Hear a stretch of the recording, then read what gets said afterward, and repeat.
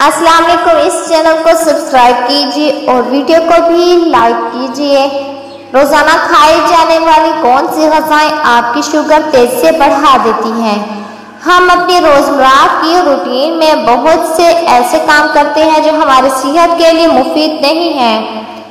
इन कामों में हमारी खुराक भी शामिल है। हम कसरत से ऐसी चीज़ों का इस्तेमाल करते हैं जो हमारा ब्लड शुगर लेवल बढ़ा देती हैं। और जिसके मसल इस्तेमाल से ज्यादतीस का खतरा पैदा हो सकता है। इसलिए कोशिश करनी चाहिए कि ऐसे गजाओं या खानों से अजतनाब करें, जो कि हमारी सेहत के लिए बहुत मुफीद नहीं है।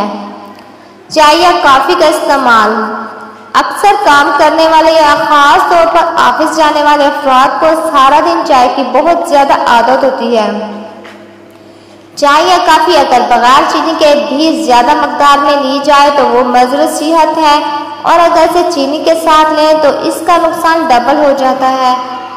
इसलिए ख्याल रहे कि अपने दिन भर की रूटीन में चाय, काफ़ी को कम करें और इससे भी ज़्यादा चीनी को कम से कम कर लें। अगर आप सारा दिन में पाँच चम्मच चीनी लेते हैं तो ये ठीक है। लेकिन अगर आप रोज़ाना इससे ज़्यादा मकदार में चीनी इस्तेमाल कर रहे हैं तो ये आपके लिए ज्यादतीस का खतरा पैदा कर सकती है। मिठाई का ज़्यादा इस्तेमाल। कुछ लोगों की बड़ी पक्की आदत होती है कि वो खाने के बाद मीठा ज़रूर खाते हैं और अच्छा खासा खाते हैं। बहुत ज़्यादा मीठा खाने से आपका वज़न बढ़ सकता है। इसके साथ शुगर के मर्द का खतरा भी हो सकता है। ज़्यादा मोटापा या ज़्यादा वज़न वैसे ही सौ बीमारियों की जड़ है। इससे ब्लड प्रेशर कोलेस्ट्रॉल और दिल की बीमारी की तरफ़ आप पहला कदम बढ़ा देते हैं। इससे हार्मोनल मसाइल भी पैदा हो सकते हैं। फलों के जायके वाला दही। इस वक्त मार्केट में बड़े मज़ेदार फलों के जायके के साथ रेडीमेड दही मिलते हैं, जो जायके में बहुत अच्छे हैं। और अक्सर लोग तो इसे मीठे के तौर पर भी खा लेते हैं। लेकिन क्या आपको पता है कि इनमें खासी मकदार में शुगर शामिल होती है, जो आपके जिसम में पहुंचकर इसके लिए नुकसानदाय भी साबित हो सकती है? इससे बेहतर है कि आप सादा दही खाएँ, वो आपको फ़ायदा भी पहुंचाएगा और मज़ा भी देगा। सफ़ेद आटे की रोटी या ब्रेड। सफ़ेद आटे की रोटी या ब्रेड सेहत के लिए मुफीद हरगिज नहीं खिलाई जा सकती। ये काब्ज होती है और इसके अलावा इसमें कैलोरीज और चीनी की मकदार भी ज़्यादा होती है। इसलिए बेहतर है कि चोकर का आटा या चक्की का आटा इस्तेमाल किया जाए। इसमें फाइबर की मकदार ज़्यादा होती है, इसलिए ये आपके जिस्म के लिए फ़ायदा मंद है। जिसको तमानाई पहुंचाता है और खाना हजम करने में मदद देता है। फास्ट फ़ूड का बिला तकल्लुफ इस्तेमाल। नौजवान नस्ल शॉर्टकट पसंद करती है, वो हर काम में शॉर्टकट चाहते हैं।